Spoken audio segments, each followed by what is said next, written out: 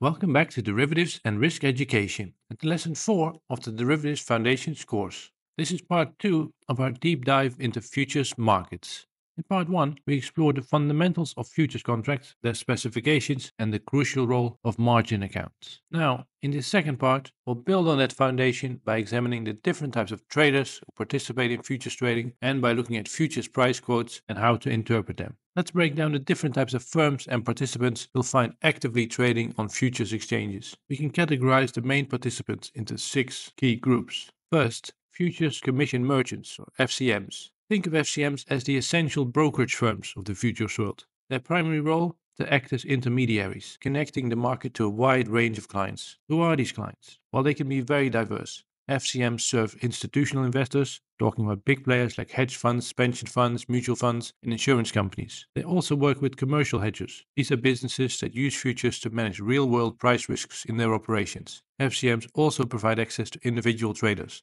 retail investors who want to speculate or hedge using futures. What do FCMs actually do? They handle the order execution, making sure trades get placed on the exchange. They manage the clearing and settlement of those trades. They often provide margin financing and offer valuable research and market analysis to their clients.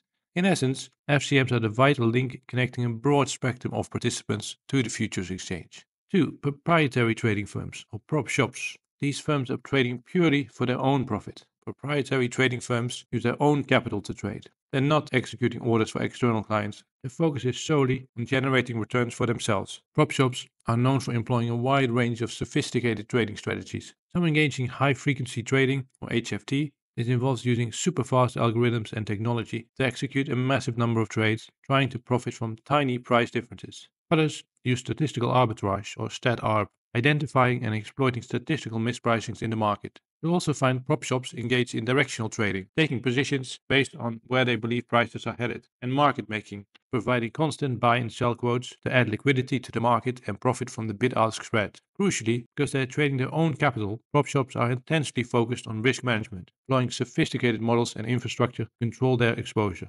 Next up, we have hedge funds. They are investment partnerships that use a variety of active strategies to generate returns for their investors. Futures markets are a key playground for many hedge funds. How do hedge funds use futures? For speculation, of course, betting on the direction of everything from commodities and currencies to interest rates and stock indices, but also for hedging. A hedge fund with a big stock portfolio might use stock index futures to protect against market downturns. They also use futures for arbitrage, seeking out and profiting from price discrepancies. Hedge fund strategies in futures are incredibly diverse, ranging from big picture macro bets to very specialized techniques like commodity index trading or volatility arbitrage commercial hedgers or end users. These are non financial companies that use futures markets for a very specific purpose to manage the risks inherent in their core businesses. Think about the energy companies using crude oil and fuel futures to hedge against price volatility in their inventories and future sales. Mining companies use metals futures to protect against price swings in metals. Key thing to remember about commercial hedgers that their primary goal is risk reduction and business stability, not pure profit seeking speculation. 5. Interdealer brokers or IDBs. A slightly more behind the scenes player, IDBs act as intermediaries between trading firms themselves. They facilitate trading in what's called the interdealer market. The main role is to provide anonymity and liquidity, especially for large institutional trades. IDBs primarily operate in the over the counter OTC market, but also play a role in some exchange traded futures transactions, particularly for large block trades and options. They are essential for ensuring smooth trading, especially when large firms need to execute big orders without revealing their hand to the entire market. Finally, if individual traders or retail investors, these are individuals who access futures markets typically through FCMs or online brokers. Why do individual traders get involved in futures? Often for speculation, trying to profit from price movements. Futures markets offer leverage, which can magnify both gains and losses, making them attractive to some, but also very risky. Some individuals also use futures for portfolio diversification, getting exposure to commodities and other asset classes. Less commonly, Individuals might use futures for hedging specific risks related to their own businesses or investments. It's critical for individual traders to understand that futures trading is highly leveraged and risky, requiring a solid grasp of the markets and risk management. So, that gives you an overview of the main types of firms you'll find trading on futures exchanges. Each of these participants plays a vital role in the market ecosystem, contributing to liquidity, price discovery, and the essential function of risk transfer. Now, let's take a look at market quotes for futures contracts. These are widely available from exchanges and numerous online sources. Here's an example for WTI crude oil futures. Typically, you'll encounter this data presented in a table format. Let's dissect the meaning of each element using this table for WTI from 7th of March 2025. As we saw in our previous lesson, these oil futures are quoted in dollars and cents per barrel. The contract column lists the contract identifier and then in brackets the delivery month. The April 2025 contract has an identifier CLJ25. CL is the code for WTI futures on the CME Globex exchange, then J is the code for April, and 25 just represents 2025. Now, let's look at the price information within each row. The last column shows the price of the most recent transaction. For the April contract, this was at $67.04 per barrel. This is the most up-to-date price at the moment you are looking at the quote. The change column, showing 68 cents for the April contract, indicates the change in price from the previous day's settlement price to the current last price.